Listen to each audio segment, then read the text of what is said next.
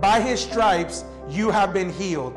Those were the exact words my oncologist said to me the day she said, You're cancer free.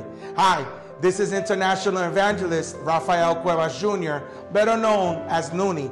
I'm here excited to announce that we will be releasing our very first book entitled Hey Cancer, it's my birthday again. September 2019, you can expect to see Hey Cancer, it's my birthday again, wherever books are sold, so that the believer can continue to believe and the unbeliever can finally believe.